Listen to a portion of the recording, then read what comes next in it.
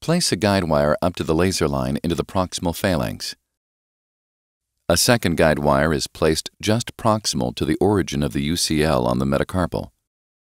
Overdrill both guide wires with a 3mm cannulated drill bit and drill guide.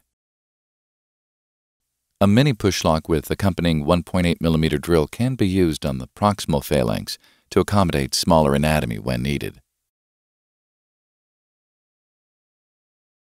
SutureTape and 3-0 FiberWire suture are placed onto the forked eyelet of the SwiveLock.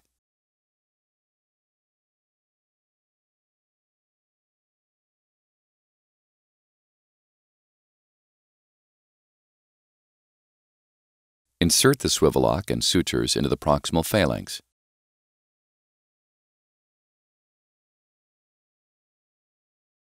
The 3-0 FiberWire is used to perform the primary repair of the ulnar collateral ligament down to bone.